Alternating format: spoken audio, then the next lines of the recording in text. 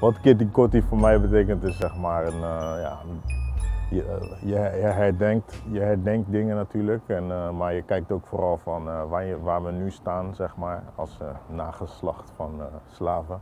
Waar je nu staat en dat mag dus ook wel gevierd worden. Ik denk niet dat er voldoende kennis is onder alle Nederlanders over het slavernijverleden. Überhaupt de geschiedenis van Nederland denk ik dat die uh, veelal eenzijdig en een beetje sugarcoated, dus gepolijst aan de jeugd uh, wordt onderwezen.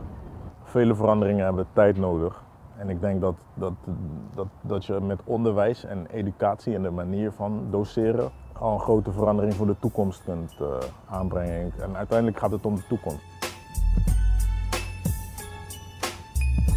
Ben een zwarte man in uh, Nederland, dus ik heb een goede portie racisme natuurlijk wel meegekregen. Dat er een movement als Black Lives Matter is, is, komt natuurlijk voort uit het verleden. Dingen die tot op de dag van vandaag in stand worden gehouden, die voortkomen uit dat verleden. Ik lees gewoon heel veel en ik, ik, ik probeer anderen ook uh, op dingen te wijzen, um, dialoog aangaan. Ik denk dat het heel belangrijk is om uh, mensen niet aan te vallen. Kennis hebben van elkaar en, de en, de, en bewust worden van uh, waarom sommige dingen zo zijn.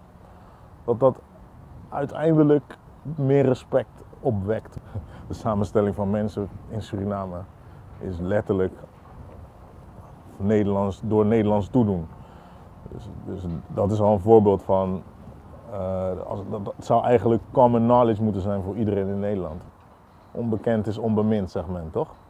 En, ik denk dat we zeg maar, zoveel, zo min mogelijk onbekend moeten laten, zodat het ook zo min mogelijk onbemind blijft.